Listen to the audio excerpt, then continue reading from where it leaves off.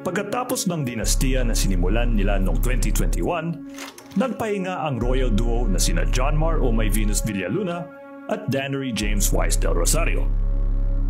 Naging malaking diskusyon sa komunidad kung kaya mabuhay ng Blacklist International habang wala ang royal duo.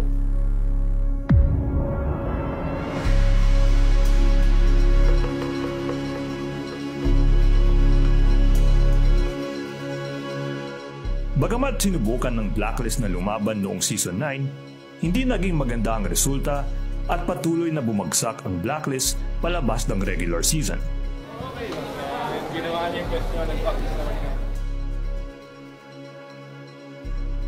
Ngunit noong bumalik ang Royal Duo para itaguyod ang bandera ng Pilipinas noong Southeast Asian Games, muling lumiyab ang Blacklist Legacy.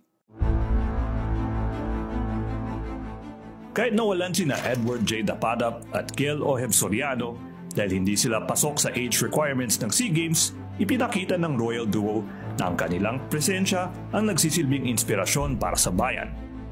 Pumalit kina Edward at Oheb sina Kyle Dominic Soto at Lee Howard Al Gonzalez at marami ang kumikwestiyon kung kaya ng dalawang rookie na sumabay sa cream of the crop ng Southeast Asia kahit wala silang LAN experience.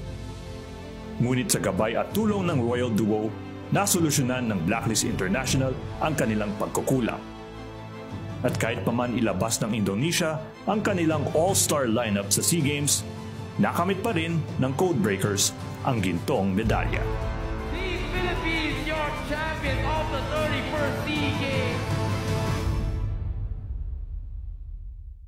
Ngunit hindi lang sa SEA Games nagpakitang gilas ang Royal Duo dahil sa pagbalik nilang dalawa sa Season 10, natupad ang pangako ni Coach Christopher Bonchan Rica Plaza na makakabalik ang blacklist sa tuktok.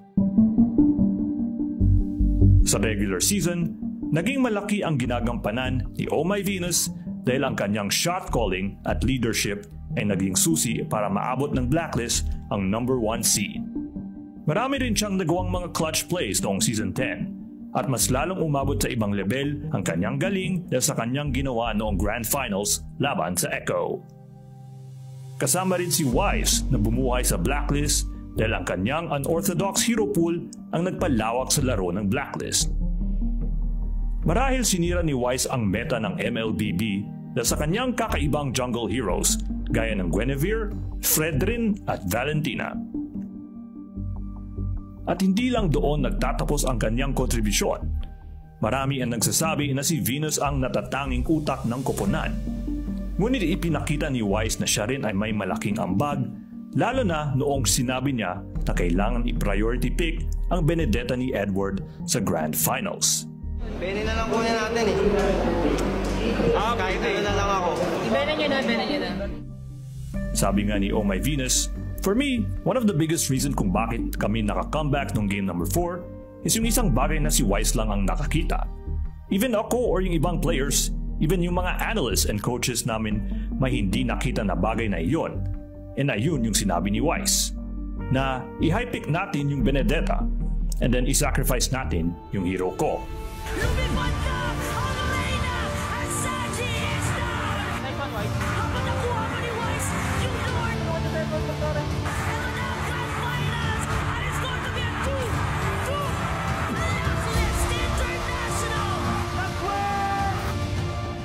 Down 2-1, nakabawi ang Blacklist at nakamit ang kanilang redemption arc para maging kampyon ng Season 10.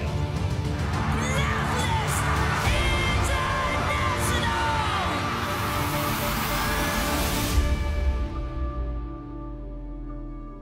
Ito ang pangatlong championship ng koponan. At halos lahat ng naging tagumpay ng Blacklist ay nakatutok sa Royal Duo. Dahil sa mga tagumpay na nakamit nila, naging bahagi sila ng MPL Philippines Hall of Legends. Sa impluensya at karangalan na ibinigay ng Royal Duo ngayong 2022 mula sa gintong medalya, MPL Championship, Hall of Legends induction at silver medal sa IESF. Naging malaki ang kontribusyon ng VY Tandem sa esports noong 2022. At dahil dyan, sila'y tinaguri Esports Athlete of the Year ng spin.ph.